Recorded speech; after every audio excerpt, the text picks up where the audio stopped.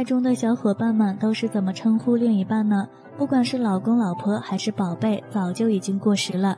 最近看了甜宠剧《我喜欢你》之后，小编就直接被赵露思和陆金的恋爱给吸粉了。虽然也是大叔和少女的恋爱，但这一对却格外的甜。尤其是在称呼这方面，他们就创新了很多不一样的内容。陆金的脾气又龟毛又嘴硬，所以一开始顾胜男就问他叫绿龟毛，这样的叫法简直不要太形象。后来陆晋还直接送了赵露思一只小乌龟，这是直接承认自己这个称呼了吗？提出了做菜还债的想法之后，陆晋就一直在顾胜男家里吃饭。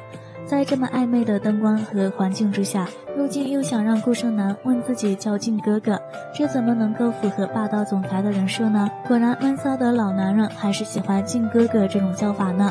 不过，以上这几种都是顾胜男对陆静的叫法。就陆静这么龟毛的性格，会怎么称呼顾胜男呢？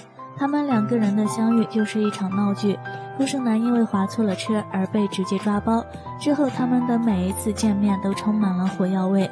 先是陆静误喝了没有煮熟的蘑菇汤，被顾胜男灌下肥皂水后，疯狂的吐泡泡。后来又被充气的玩偶给弹进了泳池里，这下子一下就住进了医院，成为了顾胜男的债主。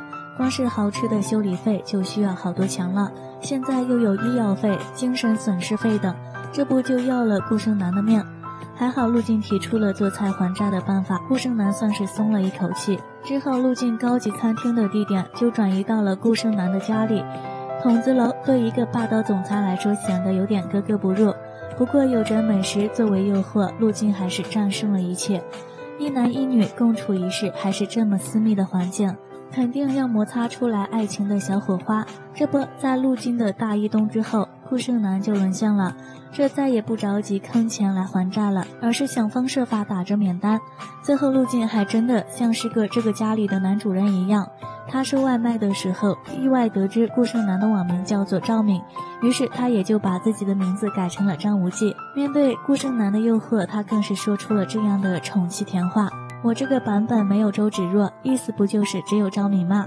也表示了他只喜欢顾胜男一个人。这个时候，小伙伴们学到了吗？叫老公、老婆什么的早就落伍了。来试试陆静对顾胜男的称呼吧。小编在看剧的时候就甜到上头，简直太会撩了。不得不说，陆静这个老男人怎么这么会来事呢？让小编都想重新谈恋爱了呢。那么，小伙伴们看了之后有什么不一样的看法呢？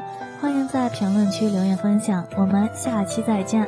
来好看视频，分享美好，看见世界。